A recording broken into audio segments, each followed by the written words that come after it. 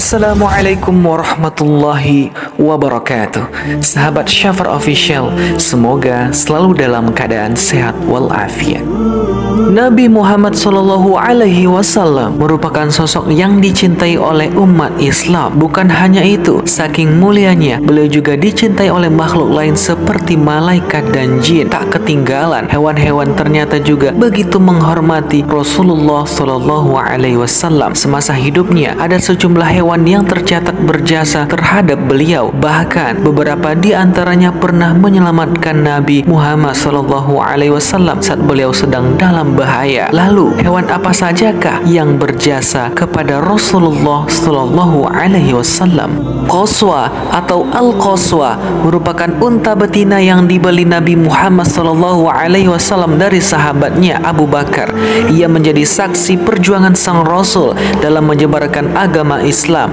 Dilansir dari buku The Great Story of Muhammad dari Maghfirah, Qaswah juga terlibat dalam menentukan area hijrah saat Nabi Muhammad Shallallahu Alaihi Wasallam meninggalkan kota Makkah. Berikutnya adalah Mueza, merupakan seekor kucing betina yang begitu spesial di mata Nabi Muhammad Shallallahu Alaihi Wasallam. Melaluinya Rasul menunjukkan seperti apa seharusnya kita memperlakukan hewan. Beliau sering kali mengajak Mueza saat melakukan khutbah di hadapan para pengikutnya dan aktivitas religius lainnya. Kucing itu sering kali duduk di pangkuan beliau. Dalam kisah lain, Mueza tampak tertidur pulas di atas jubah Nabi Muhammad Shallallahu Alaihi Wasallam yang sedang dipakainya. Beliau rela memotong pakaian itu ketika ingin sholat agar si kucing tak terganggu tidurnya. Hewan yang satu ini sangat spesial karena berhasil menyelamatkan nyawa Nabi Muhammad Shallallahu Alaihi Wasallam. Ia adalah laba-laba dari Gua Sur. Berawal dari sang Rasul yang saat itu tengah berperang, beliau kemudian dikejar-kejar oleh kaum kafir Quraisy untuk menyelamatkan diri dan tak dibunuh. Beliau bersembunyi di dalam Gua Sur. Akan tetapi, mulut gua tersebut masih terbuka sehingga orang dari luar bisa melihat bagian dalamnya.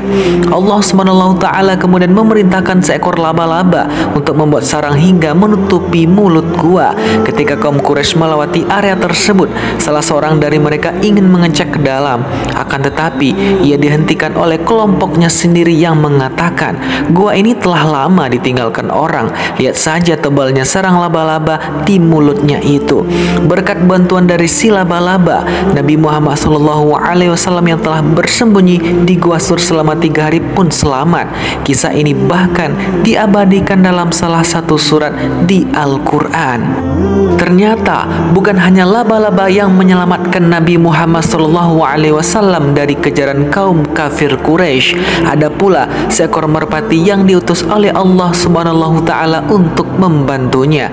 Burung ini sengaja bertelur tepat di depan sarang laba-laba agar kaum kafir Quraisy semakin yakin bahwa Gua Sur tidak pernah disentuh oleh manusia mana pun sebab burung tidak akan menaruh telurnya di area dekat manusia agar tak terancam. Karena peristiwa inilah semua orang yang ada di Makkah dilarang untuk menangkap burung merpati apalagi memburunya. Mereka dibiarkan berkeliaran di pelataran Masjidil Haram dan setiap sudut kota.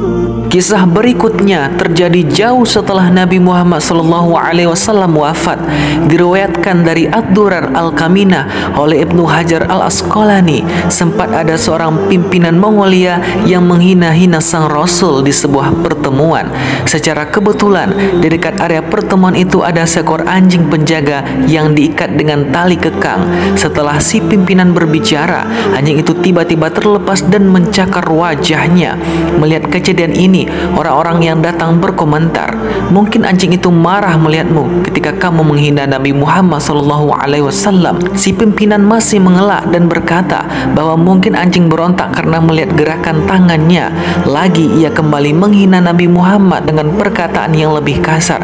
Anjing itu kembali berontak dan menggigit tenggorokannya. Walaupun tak ada yang tahu niat asli anjing tersebut, orang-orang yang menyaksikan kejadian itu percaya percaya bahwa makhluk itu ingin membela sang Rasul Nabi Muhammad Sallallahu Alaihi Wasallam. Sahabat beriman itulah sejumlah hewan yang dikenal berjasa terhadap Nabi Muhammad Sallallahu Alaihi Wasallam.